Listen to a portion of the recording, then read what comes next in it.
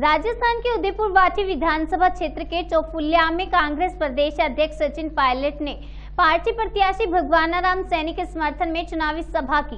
Pilot ने अपने भाषण में नीरव मोदी, विजय माल्या समेत उत्तर प्रदेश के मुख्यमंत्री योगी आदित्यनाथ के हनुमान जी की जाति वाले बयान पर भाजपा को घेरा।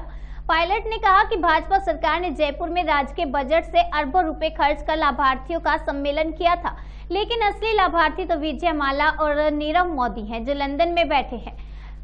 पायलट ने भाजपा सरकार पर अपेक्षा का आरोप लगाते हुए कहा कि भाजपा सरकार में झुंझुनू ज़िले से एक भी मंत्री नहीं था। इस बार कांग्रेस की सरकार आने पर उचित प्रतिनिधित्व दिया जाएगा। उन्होंने कहा कि वसुंधरा राज्य के राज में जितना उत्पीड़न व अत्याचार दलितों पर हुए, उतने कभी नहीं हुए। भाजपा के नेता पाँच साल तक गायब रहे। उन्होंने किसान, खाद, बीज, पानी पर चर्चा तक नहीं की।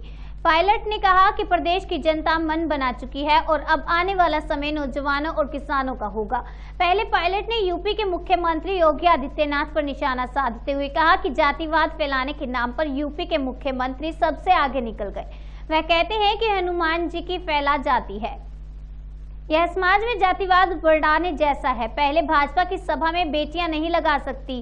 काली चुन्नी पायलट ने कहा कि पीएम नरेंद्र मोदी या वसुंधरा राज्य की सभा में काले जूते, जुराब, काला शर्ट, काली चुन्नी या किसी प्रकार का कोई काला कपड़ा पहनकर नहीं जा सकते हैं। राजस्थान में प्रतिदिन 12 महिलाओं के साथ बलात्कार होता है। प्रतिदिन 12 महिलाओं के साथ बलात्कार होता है। ये नारी शक्ति का मान सम्मान को छोड़ो, उनकी रक्षा करने में नाकाम रहे। हमने वादा किया है कि राजस्थान में अगर कोई बच्ची जन्म लेगी, जन्म लेने से जितना भी पढ़ना चाहे, जहाँ भी पढ़ना चाहे, जो कुछ पढ़ना चाहे, उस बच्चे, महिला की पूरी शिक्षा का खर्चा राजस्थान की सरकार ये हमारी सोच है साथियों। इस घाटा को लेकर हम आगे बढ़े हैं। मैं तो आपसे निवेदन करने हाजिर हुआ हूँ, सात को वोट पड़ेंगे, ग्यारह तारीख को मतगणना है। इस बार राहुल जी ने मुझे भी कहा चुनाव लड़ने के लिए, मैं भी अठारह बीस साल से एक पार्टी का काम कर रहा हूँ, सांसद रहा हूँ, मंत्री रहा हूँ प्रदेश अध्यक्ष रहा हूँ, लेकिन पहली बार विधानसभा का चुनाव टोंक से लड़ रहा हूँ।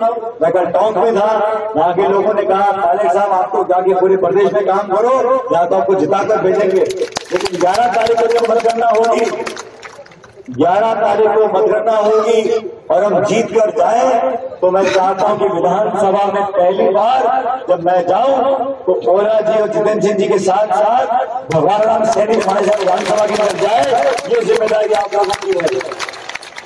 अब तालियाँ बजा दी लेकिन मैं भी जितनी हूँ हाथ खड़े कर कर वादा करो मुझे कि हाथ के निशान पर बटन दबाओगे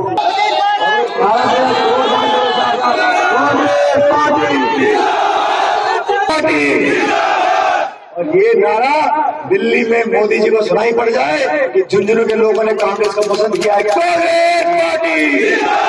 आपका धन्यवाद। राम राम साहब